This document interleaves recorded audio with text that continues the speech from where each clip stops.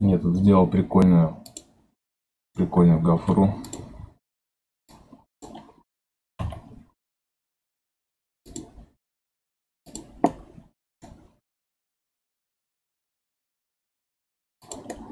Такую процедурненькую.